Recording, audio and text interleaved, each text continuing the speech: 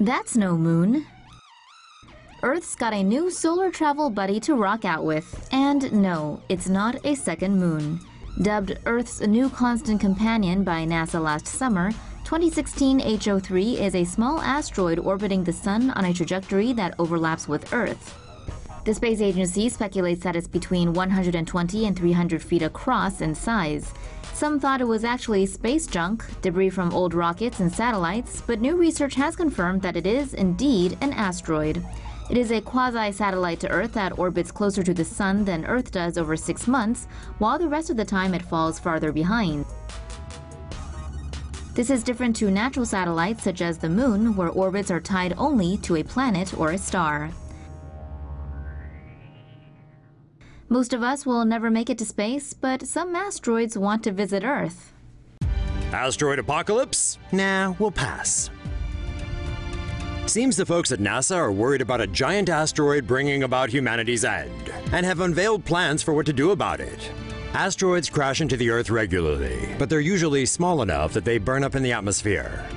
However, bigger space rocks could cause significant damage if they were to hit the planet.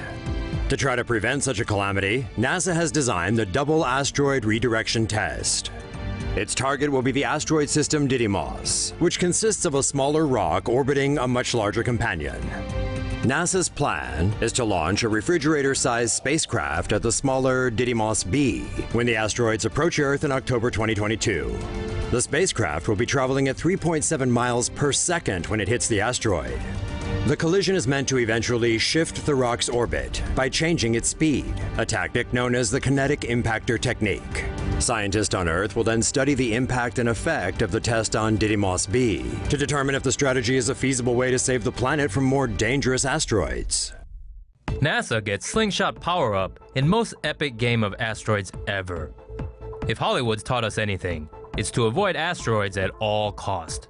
Unless you're Bruce Willis, or this beastly spacecraft.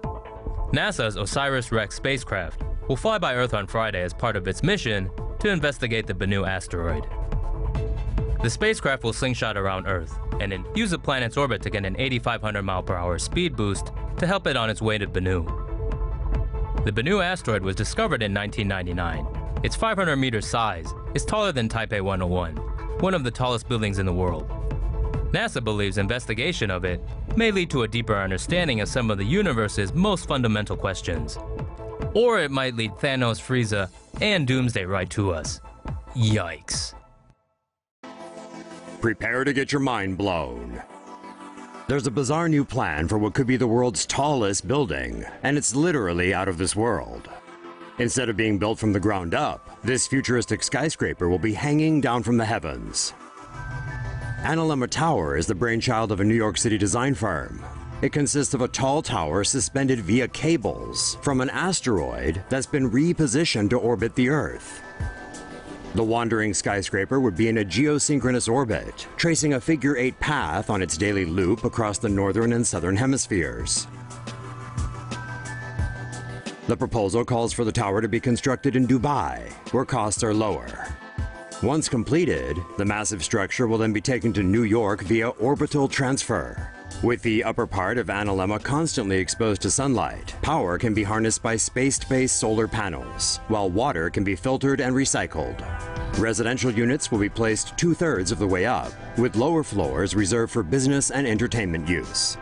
The plans don't specify how to get on and off the property, but illustrations suggest people would do so via parachutes. With such an outrageous proposal, there's no telling when or if the hanging tower will ever make it to the real world. Still, you never know. Large asteroid Florence to pass by Earth on September 1st. For those of you who enjoy looking up at the sky above, you may see something out of the ordinary passing overhead in just a few days. An asteroid, roughly 3 miles wide, will drift past our planet a few moon lengths away, and it's going to be closer to us than we're used to seeing. Asteroid Florence, named after the founder of modern nursing, Florence Nightingale, is believed to be at least 2.7 miles in diameter. Hurtling through space 4.4 million miles away, more than 18 Earth-Moon distances, Florence is the largest asteroid to pass this close since the first near-Earth asteroid was detected over a century ago. The last time this particular asteroid was this close was back in 1890, and following September 1st, it won't be this close again until after the year 2500. As it glides by, Florence will move through the constellations Pisces Austrinus, Capricornus, Aquarius, and Delphinus, visible even by small telescopes. Florence's trip past the Earth offers scientists a chance to study it up close. This asteroid is less than half the size of the one that wiped out the dinosaurs and poses no apparent threat to life on Earth.